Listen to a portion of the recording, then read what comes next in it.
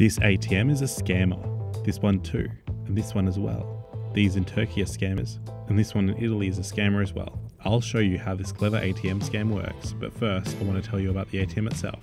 I want to stress that this isn't just common in Turkey, Spain or Italy, there are scam ATMs all over the world, even in supposedly safe countries like Singapore. But a specific company in Europe called Euronet is the worst for the scam, and I'll show you why. But first, I wanted to point out how many Euronet ATMs there are. There are 14 Euronet ATMs within a 150 metre radius of the Sagrada Familia in Barcelona, Spain, and I bet there are a bunch wherever in Europe you're heading to sightsee. Here's how the scam works. It starts when you enter the card into the overseas ATM. The ATM will read it and determine it's to be a card from overseas, and once it does that, it's game on for this naughty ATM.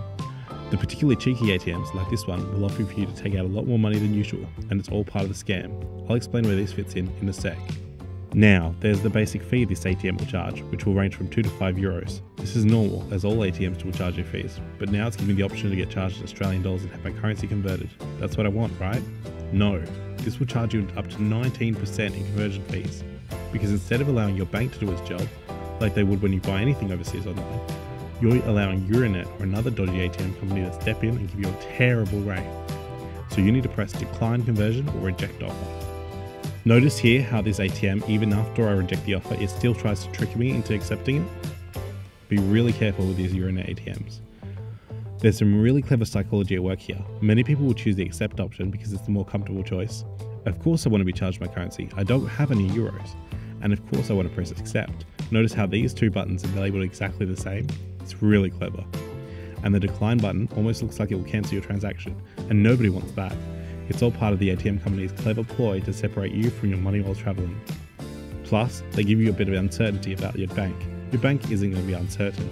The conversion rate is always the same, and you can check your fees on your bank's website. But now you know the psychological tricks, decline conversion or reject offer, and how the ATM instead use a MasterCard or Visa network, which will be far more affordable. Now, remember when I mentioned that these ATMs try to get you to take out large amounts of cash? Well, that's because they want to maximize the money they can steal from you. At 19%, taking out 1,000 euros will allow the ATM to steal 190 euros of your hard earned cash. And these ATMs are everywhere, especially programs to take money from tourist pockets. But these particularly cheeky Euronet ATMs tend to pop up all over Europe around tourist sites. This isn't the only place it happens. At touristy restaurants, cafes, and even at hotels, when paying by card, you could be offered to be charged in your local currency. But that's a mistake. Remember the tip and always decline the conversion.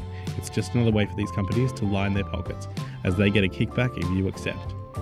So, watch out when you're traveling next so you don't get scammed without knowing it. And subscribe to Luke Travels so you see more videos like this one. Next, check out this video that the algorithm thinks that you'd like to watch next.